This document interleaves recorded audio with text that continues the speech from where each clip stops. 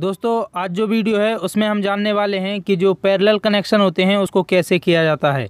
जिसमें हम आसानी से फोर लैम्प जो चार बल्ब हैं, उसका कनेक्शन करके बताने वाले हैं। तो इसके लिए हमने चार होल्डर ले लिए हैं और चार बल्ब ले लिए हैं। और इसमें हमें कुछ वायर्स की भी ज़रूरत पड़ेगी तो कुछ वायर्स भी ले लिए हमने, जो टुकड़ों में काट लिए हैं। और इनके अब हमें कनेक्शन करना है, वो भी सिंपल तरीके से। तो देखिए, इसका जो सर्किट डायग्राम होता है, वो हम आपको बता दें। तो मान लीजिए, हमें ये चार लैंप हैं, इसके कनेक्शन करने हैं पैरेलल में। तो देखिए, ये जो एक लैंप है, उसमें जो होल्डर होता है, उसमें दो टर्मिनल होते हैं। तो एक ये है, एक ये है। एक में न्यूट्रल देना होता है, एक में फेस देना होता है।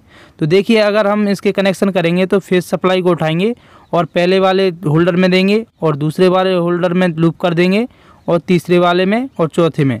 तो इसका ये मतलब है कि अगर हमने फेस को उठाया तो फेस को हमारे चारे, चार जो हमारे होल्डर हैं, चारों होल्डर में हमें फेस सप्लाई देनी होंगे और न्यूट्रल जो है, वो न्यूट्रल भी चारों होल्डर के जो एक एक टर्मिनल है, वहाँ पर हमें न्यूट्रल देना होगा।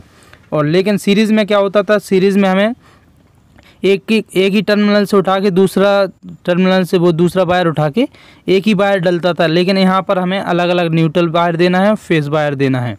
तो देखिए, जब ये सप्लाई से जुड़ जाएगा तो इस प्रकार से जो लाइट है वो ग्लो होने लगेगी। तो देखिए कनेक्शन करने के लिए हमें इसके जो कवर हैं होल्डर के कवर हैं, उसको निकालना होगा। तो चलिए, सबसे पहले इसके कवर को निकालते हैं और इसके बाद जो कनेक्शन है, वो हम स्टार्ट करते हैं। तो सबसे पहले हमने एक वायर का टुकड़ा लिया है और उसको पहला वाला जो होल्डर है, उसमें कनेक्ट करेंगे। तो इसको एक वायर को हमने एक होल्डर में कनेक्ट कर लिया है और इसके बाद जो एक और वायर का टुकड़ा लेंगे और उसको हम क्या करेंगे, इस वायर के साथ एक साथ मिला लेंगे, जिससे जो हमारा होल्डर है, उसमें होल्डर का जो कनेक्टर है, उसमें ये अच्छे से फिक्स हो जाए और टाइट हो जाए। तो दो वायर को हमने एक साथ कर लिया है और दूसरा वाला जो होल्डर है, उसके एक टर्मिनल पर हमने इसको कनेक्ट कर दिया है और इसको यहाँ पर टाइट कर दिया है। तो देखिए, अब इसके बाद जो इसका जो वायर है, इसके बाद हम एक वायर और लेंगे और इसको फिर इस वायर के साथ कनेक्ट करेंगे और उसको हम तीसरे होल्डर में कनेक्ट करेंगे। तो देखिए, यहाँ पर ये जो वायर है, इसको अच्छे से यहाँ पर एक साथ कर लेंगे, जिससे जो हमारा होल्डर होता है, उसमें अच्छे से फिक्स हो जाता है। तो इसको भी हम इसमें कनेक्ट कर लेते हैं। पैरेलल कनेक्शन में हम कितने भी बल्ब लगा सकते हैं, जो बराबर वर्क करेंगे, काम करेंगे। लेकिन जो हम सीरीज़ में अगर ज़्यादा बल्ब लगा देंगे तो जो बल्ब है, वो ग्लो नहीं होंगे। क्योंकि वहाँ पर वोल्टेज है, वो डिवाइड हो जाता है। लेकिन यहाँ पर वोल्टेज पर कोई फ़र्क नहीं पड़ता है, बस करंट बढ़ेगा। तो देखिए, इसके बाद हमने ये तीन कनेक्टर को कनेक्ट कर लिया है। इसके बाद एक बड़ा वाला वायर लेंगे हम रेड कलर का फेस के लिए। तो इसको इसमें साथ करेंगे, एक साथ कर लेंगे इसको और इसको होल्डर में कनेक्ट कर देंगे। जिससे क्या होगा, ये जो बड़ा वाला हमारा वायर है, इसमें हमारी जो फेस की सप्लाई है, वो भी कनेक्ट हो जाएगी। कहीं से भी हम इसको फेस दे देंगे।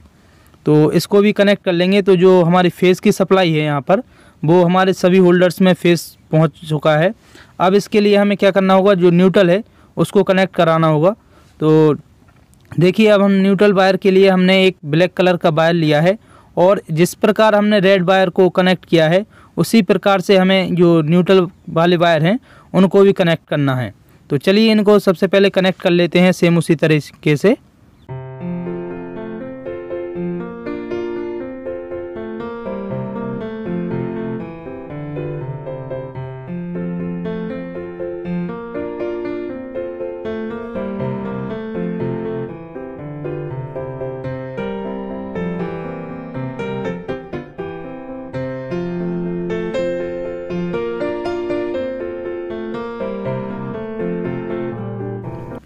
देखिए दोस्तों, तीन होल्डर में हमारी सप्लाई पहुँच चुकी है। तो चौथे के लिए हमने एक वायर बड़ा वाला लिया है, जिससे हम जो न्यूट्रल की सप्लाई है, वो हमारी लाइन से दे देंगे। तो यहाँ पर इस वायर को भी हम एक साथ कर लेंगे, जिससे हमारा जो होल्डर है, उसमें अच्छे से कनेक्ट हो जाए। तो देखिए, यहाँ पर जो लास्ट वाला होल्डर है, उसको भी हमने कनेक्ट कर लिया है, और इसके बाद इसको अच्छे से टाइट कर दिया है। तो अब इसके बाद जो है, वो हमारे जो पैरेलल के कनेक्शन है वो कंप्लीट हो गए हैं और सप्लाई के लिए हमारे एक न्यूट्रल एक फेस सप्लाई के लिए निकल चुका है वायर तो देखिए दोस्तों, इस प्रकार से इसके कनेक्शन होते हैं। पैरेलल कनेक्शन में हमें होल्डर में न्यूट्रल फेस दोनों को देना पड़ता है। और चलिए अब हम बल्ब को कनेक्ट कर लेते हैं। तो जो बल्ब हैं, वो हमारे एक हमने सौ वाट का बल्ब यूज़ किया है और तीन बल्ब हैं, वो सिक्सटी वाट के बल्ब यूज़ किए हैं। तो इससे हम ये देखेंगे कि जो पैरेलल कनेक्शन में अगर हमारा जो वाटेज है बल्ब का अलग अलग होता है तो उससे क्या फ़र्क पड़ता है? तो इसीलिए हमने इनको अलग, एक वायर, एक जो बल्ब है, उसको सौ वाट का लिया है और जो तीन है, वो साठ वाट के लिए हैं। देखिए दोस्तों, ये जो कनेक्टर है, इसमें हमारी 220 वोल्ट की जो सप्लाई है, जो नॉर्मली घरों में आती है तो हमें उसमें इसको कनेक्ट करना होगा जो हमारे वायर निकाले थे हमने कनेक्शन से पैरेलल कनेक्शन से, जो लंबे वायर वायर को निकाला था। उसमें हमें इसमें कनेक्ट करना होगा और इससे हम जब सप्लाई को ऑन करेंगे तो उससे जो हमारे बल्ब हैं, वो चालू हो जाएँगे। तो देखिए हमने यहाँ पर इसको कनेक्ट कर लिया है और कनेक्ट करने के बाद हम क्या करेंगे, अब इसके जो सप्लाई है, उसको ऑन करके देखेंगे कि जो हमारा बल्ब है, वो कौन सा बल्ब कितना तेज़ जल रहा है पैरेलल कनेक्शन में, क्योंकि हमने यहाँ पर अलग अलग वाटेज का बल्ब यूज़ किया है। तो देखिए, जब हमने सप्लाई को ऑन किया है तो यहाँ पर अभी ज़्यादा फ़र्क नहीं पड़ रहा है तो चलिए बल्ब को बुझा लेते हैं। तो देखिए, ये जो बल्ब है, ये हमारा सौ वाट का बल्ब है तो ये जो है वो थोड़ा तेज़ ग्लो हो रहा है, और ये जो तीन बल्ब हैं, वो बराबर ग्लो हो रहे हैं। तो इसका यही मतलब है, जो हमारे पैरेलल कनेक्शन होते हैं तो उसमें जिसका वाटेज ज़्यादा होता है, वही बल्ब सबसे तेज़ जलेगा, और लेकिन जो कम वाटेज होता है उसका, वो पैरेलल कनेक्शन में कम जलता है। दोस्तों, अगर आप इसी प्रकार के और भी वीडियो देखना चाहते हैं तो हमारे चैनल के बी इलेक्ट्रिकल मेंटेनेंस को सब्सक्राइब ज़रूर कर लें। साथ में बेल आइकन को भी प्रेस कर लें, जिससे हमारा कोई वीडियो आए, उसका नोटिफिकेशन सबसे पहले आपके पास आ जाए।